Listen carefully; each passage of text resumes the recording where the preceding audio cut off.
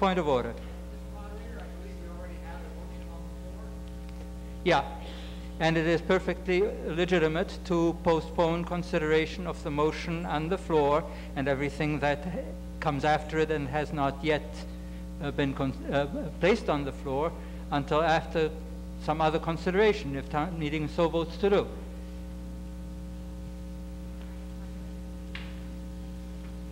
Motion is to postpone consideration of Article 13, capital expenditures under Article 14, operating budget is complete.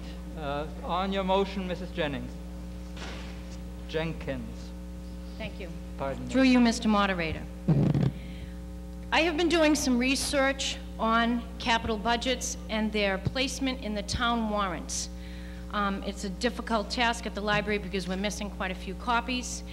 Since 1991, the capital budget has been placed after the operating budget for all except for two years in which in the lottery, they were selected in the lottery first and were not postponed. Those years were 94 and 95, when things were a little more flush in this community. Moving the capital plan before the operating budget is a posturing move by the Board of Selectmen and the Finance Committee to circumvent town meeting members' right to change operating budgets by using available funds to fund those budgets. If as town meeting members, you choose to vote on capital Article 13 first, then you will have little voice on Article 14, operating budget, as almost all available funds will be depleted. I am not standing before you on behalf of any one group or for the changing of any one budget, but for the democratic process that we all live in this town for. Town meeting members decide how much money and what money should be spent in any given area and the funding source, whether by raising appropriation, free cash, bonding, or using the stabilization fund. It is the responsibility of the Board of Selectmen and the Finance Committee to advise us and not decide for us. I urge you to support this postponement of this article until the operating budget is complete, leaving town meeting votes to the town meeting members. Thank you. Mr. Smith,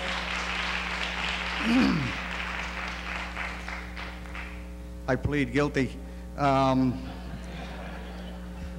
um, I brought this to the Board of Attention, uh, to the attention of the Board of Selectmen for one reason, and Mrs. Jenkins is absolutely right. It's a very rare year that we do do capital items ahead of the omnibus article. We did that for a specific reason, and it's exactly for the reasons that she stated. The limited uh, amount of free cash available is, the- is the reason. At the beginning of this uh, budgeting season, we had $516,938 available for uh, added expenditures under the free cash um, area. And after we did our budgets, and we worked on them for over six months, um, we came up with a grand total at the end of this particular town meeting, if all our recommendations are followed, with $21,000, $22,000 in free cash. And we thought that was a very unstable position to be in. So we said, well, what is the most important of the issues?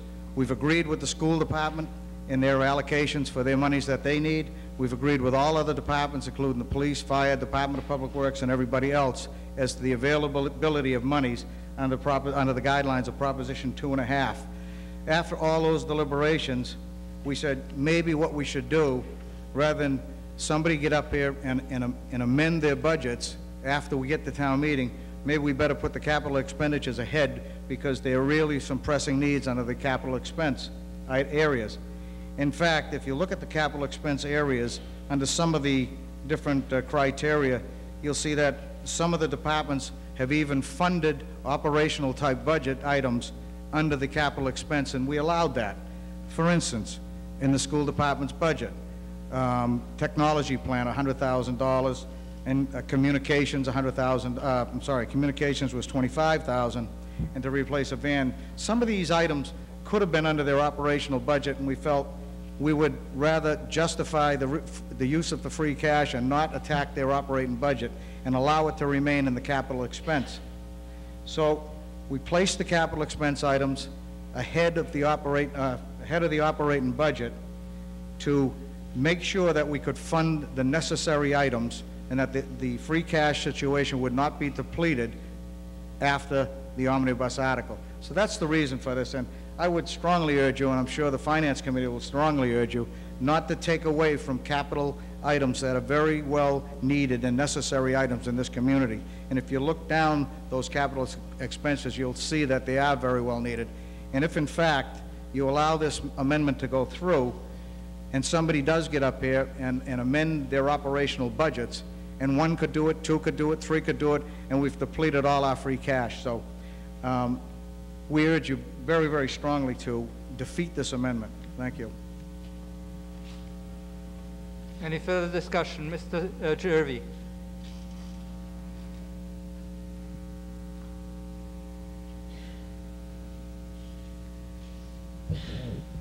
There has been a great deal of very difficult and very dedicated work done this year by the Board of Selectmen, the Finance Committee, and the School Committee. We have taken a vote tonight, the School Committee. We will be recommending a budget to you of fourteen million, seven hundred eighteen thousand, five hundred forty-nine dollars for the schools. That is not the number that you find in the warrant. It is somewhat, it's less than what we had originally requested and more than what the Finance Committee had originally recommended. It is a number that has been reached by consensus for the Finance Committee and the Board of Selectmen. We would urge you to honor that consensus. It is your decision but a lot of work has gone into building this consensus. A lot of attention has been paid to the long-term financial health of the community. Those of you who have been here in years past know that whenever I thought there was more money available, I've told you, I've stood up here and made the requests. If I were to tell you that there is more money available this year, I can't tell you that. I don't know that there is. We have, we have been very careful with the budgeting, and I would ask you frankly to hear what we've done, live with the fact that it isn't going to pay for everything people want, but it will live within the community's means as we understand them to be. Now, as you listen to each individual capital item, you still have the responsibility of deciding whether you consider it to be a valuable expenditure for the town. But there is no need to take them out of sequence.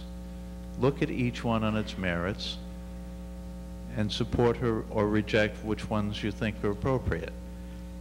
But don't change this just because you think something has, there's been some sleight of hand. This, this represents the best judgment of all of the people who have been working so hard this year. Thank you.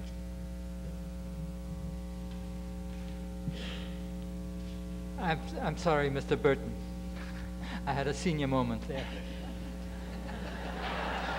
I would like to say something about them, but I have them all the time, so we're even. Thank you, Mr. Moderator. Uh, for the benefit of those that have not had an opportunity to uh, study the uh, warrant articles and the, uh, some of the reports. The uh, free cash that we're starting with tonight, as was mentioned earlier, is listed here. The recommended program, and these numbers will change a little bit as we go through the evening, recommends that we spend over $440,000 as part of capital improvement. There will be some support required for the FUMP project later in the, in the evening or the next session. There's potentially a senior citizens drain on the uh, program, which we have supported and continue to support. Uh, there is a cultural council need this year, which we are recommending also. As you can see, we would end up with about $20,000. This number will change as we go through the next evening or two. I would strongly urge you to remember that free cash, when we play with that, that's the money that you had left over last year after you paid all of your bills close out your account at the end of the year. If we start using free cash for operating expenses, then we're saying we're going to guarantee next year that we have that quantity of money available at the end of the year after we have met all of our obligation. We're setting ourselves up for failure either the following year, subsequent year to that, or within the next five years. The Finance Committee has been wrestling very hard with a lot of the revenue issues. We're charged with protecting to the best of our ability, which uh, leaves a lot to be desired, I'm sure. But we're charged with trying to give recommendations that will see this town, not just this year, but several years into the future. So we strongly urge you to support the budgets that are recommended this evening. And uh, I would start with saying, uh, let's take the order that the uh, Board of Selectmen has presented to us. Thank you. Mr. Reitmeyer, please state your name and address. George Reitmeyer, Mead Road. Move the question. Motion is to terminate debate on the motion to amend. Ms. Jennings, do you wish to make, make use of your two minutes? Yes, I do. I'd like to, s- I'd like to point out that um, I did not select any one group, and Mr. Smith pointed out that the school has three, three articles in the capital plan um, ho- that should have been included in their budget, and I'm wondering, should pistols be, have included in the police department's budget? That's an option. Um, I also noted earlier this evening, $67,000 was mentioned that has been put aside in the pensions and benefits line item as we get to the operating budget. That figure is closer to $80,000 as their anticipated cost of 7.5% increase in the insurance line. Gee, I wonder if that should be projected to the 60 40% uh, that the school and the town have shared. I am, my postponement of this article is only to give you people the right to think about the funding sources that have been presented, and free cash is your money too. Some of the articles in this bond, in this plan should be bonded. Should a gun last more than five years? Should an air conditioning improvement last more than five years? Should we even be renovating a men's locker room when we're building a new police station? Think about all of these articles and their funding sources, and anyone in this room can stand up and change a funding source.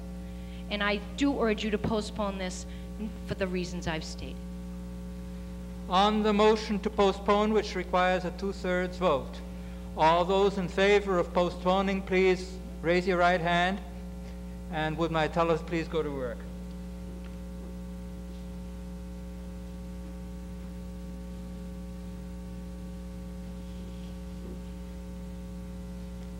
Mr. Reitmeyer, 12. 12.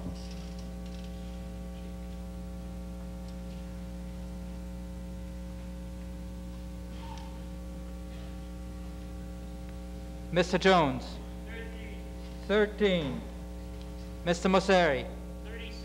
36. All those opposed, please raise your right hand.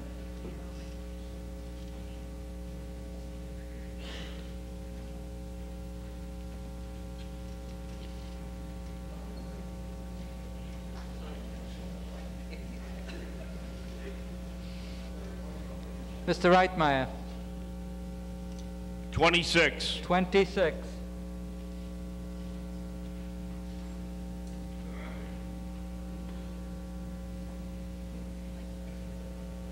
Mr. Mosseri? 28. 48. 48, sorry.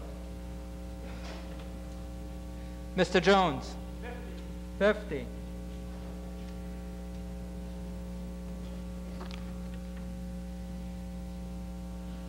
The motion is 61 in favor, 124 opposed. The motion fails to achieve the required two-thirds majority. The motion is lost. And we are back to the main motion under item A of Article 13, which is, I move to appropriate the sum of $75,000 to be used with the appropriation under Article 14 of the April 1998 town meeting for the purpose of replacing and equipping a fire pumper and that to meet this appropriation, the treasurer, with the approval of the Board of Selectmen, be authorized to borrow the said sum. This requires a two-thirds vote,